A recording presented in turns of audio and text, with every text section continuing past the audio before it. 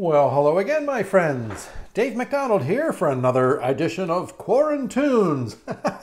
Coming to you live, well, not live, I taped it, here on YouTube from the studios of Corny Creek Farms. That's right, where we grow corny humor. if you've watched enough of my videos, you know I like corny humor, bad puns, all that kind of stuff. And I did want to share, let's get started here today. I wanted to share yesterday's drawing that I colored. You know I've been having fun coloring my drawings. So here's our farmer yesterday, Farmer Merle. Uh, and for some reason I added him thinking, moo, moo, moo. How many different ways can you say moo? Apparently there's three, right, Mr. Dave? Okay, so there he is on his farm from Pennsylvania. Ah, see the silo? Oh my gosh having too much fun here. Hey, today we're going to have a lot of fun as well. I have to say a big hello to my friends in Minnesota. Yes. All right, Miss Hans artists at Hassan Elementary. Wow, I hope you're doing well today. All the way out there in Minnesota, land of 10,000 blank. Hmm, I wonder what that is. Ten. It's kind of the one of the mottos or the. It's a phrase you should. Land of ten thousand. I, I I think I know. Do you know what it is? If you live in Minnesota, I'll bet you do know. I I don't live in Minnesota. I'm gonna say land of ten thousand snakes. I've heard it before, and I think that's what the word is. Land of ten thousand snakes. Snakes. No, that that doesn't seem right. Miss Han, can you help out? Or can some of your students help me here? Snakes isn't right. Land of ten, oh, I know what it is. Land of 10,000 rakes. That's right. You get a lot of trees there. In the fall, you have to rake all the leaves, so you need a lot of rakes. uh, Mr. Dave, that's not right either. Hmm. Well, Mr. Oh, my word. What's going on here? Rake, snake, 10,000. Tell you what, Miss Hans Artists, if you could, on the count of three, because I know you know the answer, just go ahead and shout it out. And I think through the internet and through the airwaves, somehow I'm going to hear you. Tell me what this word is. All right, are you ready? Here we go. Hassan Elementary. One, two, three. Whoa, that was really loud. Lakes. That's what it is. Land of 10,000 lakes. That's what it is. Let's even put it in ink. That's how sure I am. So welcome aboard with me here today, here in Corny Creek Farms, my friends in Minnesota. And what I thought we'd do today since we're talking about different states, is now in South Carolina, every state has their own symbols, like they have their own. This is a poster that I made up years ago, and the, every tree, every state has their own tree, their own uh, reptile, their own beverage. So in South Carolina, we have our fish is the striped bass, and let's see our our reptile is the loggerhead turtle. And I think, much like Minnesota, our state beverage is milk. I think Minnesota has milk too. So every state has these, and I thought, well, for a drawing today, why don't we kind of explore one of those characters? One of us, a mammal or a, a fish, or we could do a fish, or let's see, the state bird Oh, I looked this up. The state bird, this is a fun one. It's a loon. a loon. I like the name loon. It makes me think that the bird might be a little loony. I don't know if they are, but I like the name. It's an aquatic bird, kind of like a duck. Or here in South Carolina, we do have cormorants. Cormorants, and I think from what I read, the loon is kind of a distant relative to the cormorant, so I kind of know what they look like in real life, but we're going to make a cartoon version, so go ahead, grab your pencil, and let's get some simple shapes going, so we'll draw our loon. All right, let's see, for his head, I am going to start with a four-sided figure. Let's see here. How about, it's not quite a square, but it looks like a square that's been stretched. it's a four-sided figure. We're going to use that kind of for our, our head. a little cross hatching here kind of helps us place the eyeballs. So put an eyeball here. You know, I like to use my my oval shapes. And then for the other eye, I'm not going to use the same oval. He's loony. I'm going to make him kind of goofy looking. So his other eye, I'm going to make smaller, like a circle almost. All right. And we'll put some wacky pupils in there at different places so he does look kind of silly when we when we see him done. Okay, his beak. Go ahead right here at the cross where these two cross and draw a curved line. It goes out like this. All right. And then from the end of that, come under with another curved line.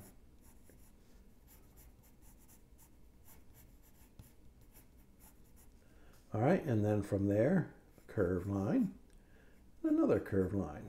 Lots of curved lines and then just kind of connect those. And that becomes his beak. All right.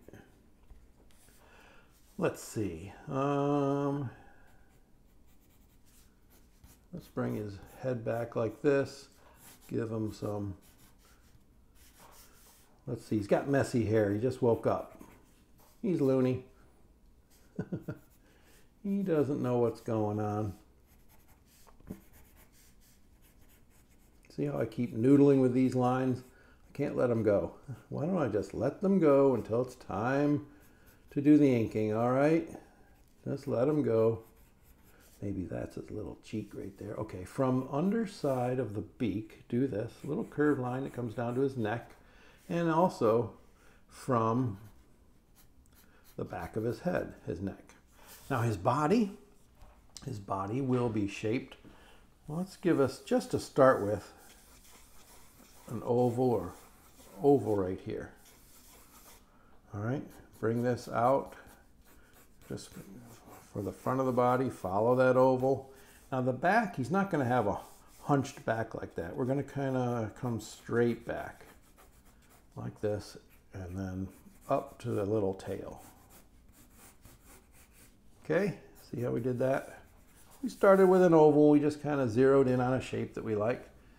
All right, so let's say he's got two legs, obviously standing on his legs today, and he's going to be, he's a web-footed character, so I'm going to just put triangles here, basically, to start with.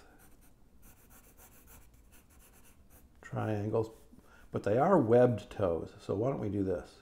Couple curved lines, just like that.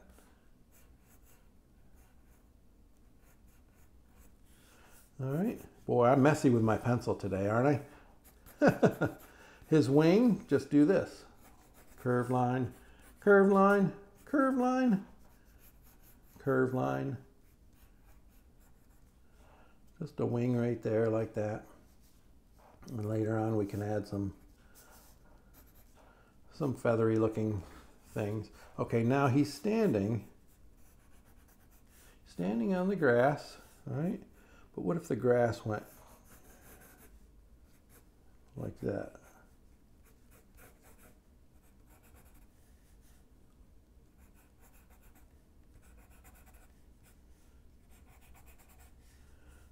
And underneath the grass, there was water out in the background. A little, maybe it's a a pond back there. They do like they're aquatic birds, so they're around ponds and lakes all the time, right? and maybe in the maybe in the water another ah, here we go another state symbol. The state fish is what? Go ahead and tell me. Hassan Elementary what is it? You know what it is. It's the walleye.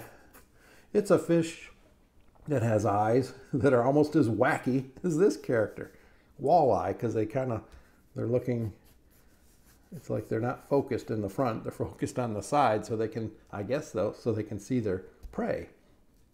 But we'll make a silly walleye here.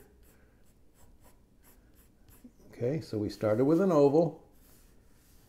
He's going to be in the water, so maybe we just create a little wave there where he's coming out of the water. Okay, this will be his head. We'll give him two big eyeballs, really big. One there, one on the other side. And since he's wall-eyed, we're going to put his pupils on the outside like that. That's funny, isn't it? Fin. Curved line along the back, and that's kind of spiky, so curved lines once again, right?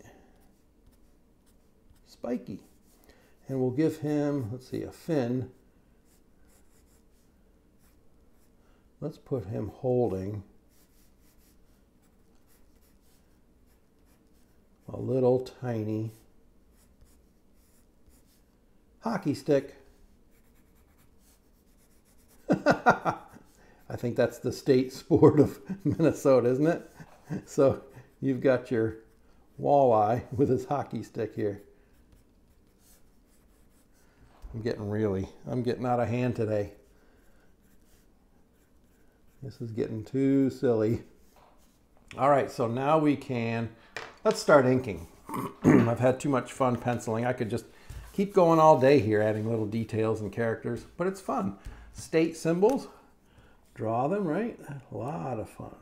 Okay, I'm gonna start with the eyeball here, and the cheek, and his hair.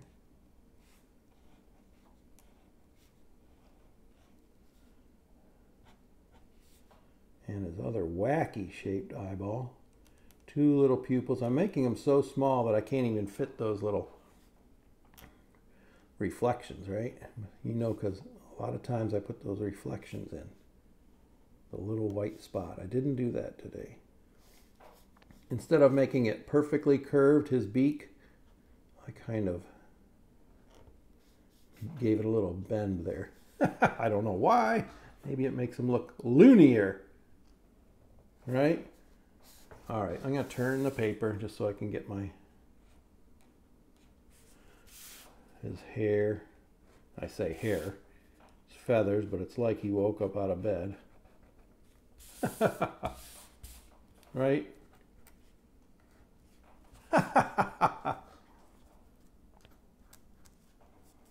this is fun. Okay. Down in front of his body.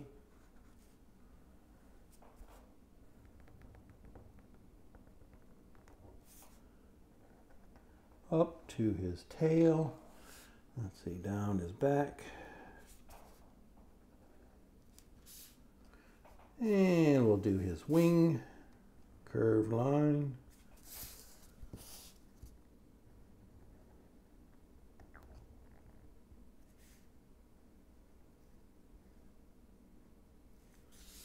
Like that. And then maybe some ruffles, feathers. All right. The loon. Triangle. Curved line for webbed feet. Maybe a little shadow under there. Hassan Elementary, you having fun? Career Day. Would you like to be doing this as a living? Well, you can. There's nothing stopping you. Everybody has artistic talent. We all have different degrees of, um, well, we all have different styles. That's what I like to say. The more we practice, the better our lines will become. But we're all born with our very own style. You already have that. And no one can take that away from you. And the art world is always looking for new styles because it would be boring if we all drew exactly alike. I mean, if we all drew exactly alike, what would the point of drawing be, right? If we already knew it was going to look exactly like someone else's. So, when you look at your artwork, what I want you to do is be proud of that artwork, okay? Because again, no one else has your unique style. And we love to see new styles in art. Again, it would be it would be boring. We don't want to just see the same old thing all the time. All right. Okay, so there's our now our walleye pupils. They're large enough that we can leave a little reflection in the corner.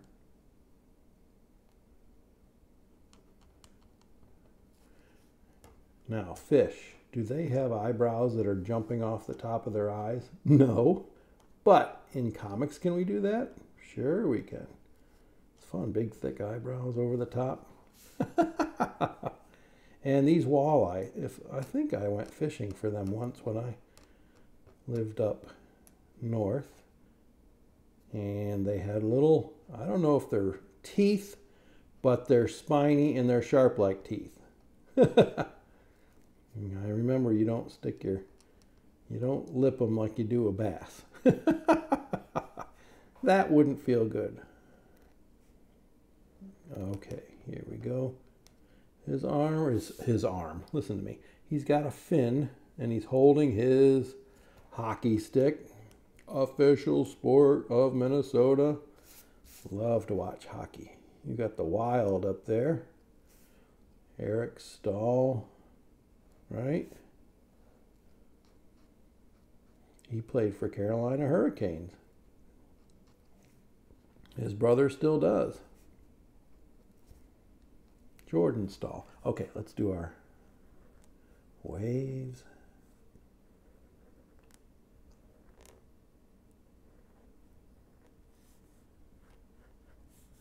And we'll do some grass coming off the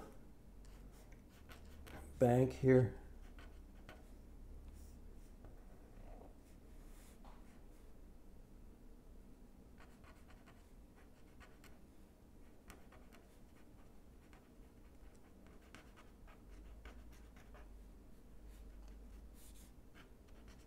Just back here.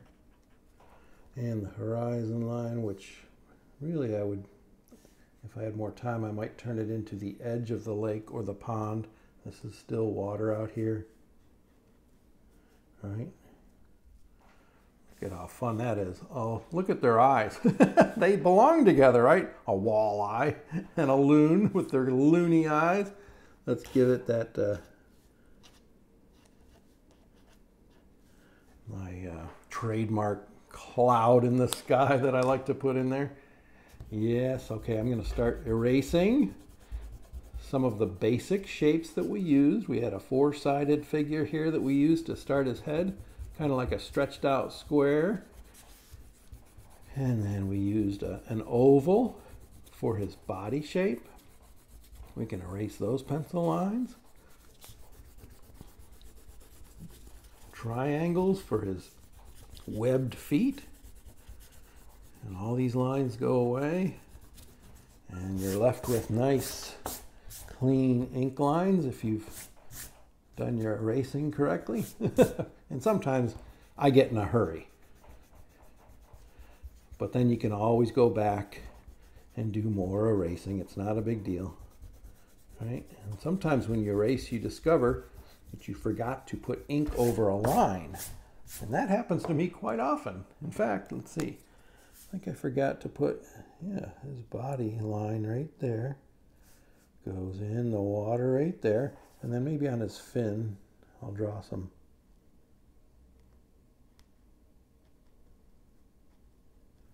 some lines. Some motion lines around his hockey stick he's waiting for the pond to freeze over so he can play hockey because it's not going so well in the water. he says, I wonder who's the loon now, right? Who's the loon now? You're trying to play hockey in, in water that's not frozen. I have too much fun. There it is, the Minnesota state bird, the loon, and the state fish, the walleye. Well, Miss Hahn and your and your friends, all your artists in uh, Hassan Elementary. I hope you had a great time today. Uh, it was fun visiting Minnesota and learning a little bit about your state. Thank you for joining me. I hope you'll continue to draw along with me. All right. Have a great week with Career Week. And to the rest of you, everybody be safe, be well, and take care of one another. All righty? Bye bye.